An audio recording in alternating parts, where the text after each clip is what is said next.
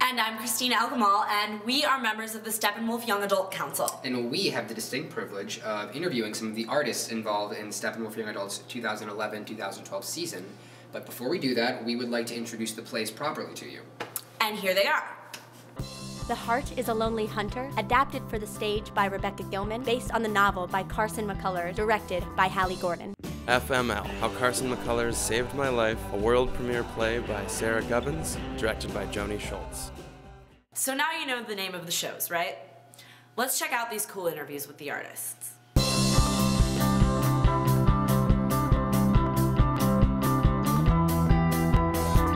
Would you mind telling us a little bit more about the general plot line of your play? It's set in a small town in Georgia during the Depression. John Singer moves into a boarding house that's run by um, the, the family of Mick Kelly. Why did you think it would make a good stage adaptation?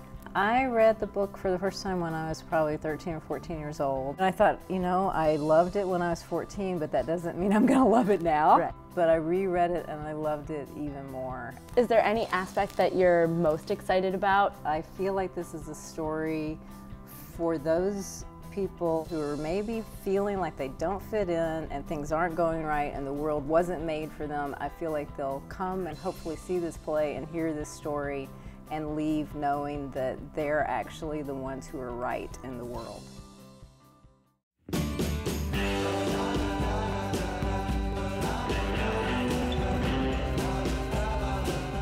Could you just tell us a little bit about the general plot of the play? It's uh, set in a high school in the Grange, and it follows a main character of Jo. She's uh, just started reading Carson McCullers' novel, uh, The Heart is a Lonely Hunter, and it has a very, very profound effect on her. What about this play do you think is important for teens to see? The main character is openly gay, and I think you know, we're in a moment, a really, really different moment than when I was a teenager, where it's more possible to express that at an earlier age. So what was your initial response to working with Steppenwolf Young Adults? There are just ways in which we relate to um, each other and, and find compassion for ourselves, I think starts when you're a teenager.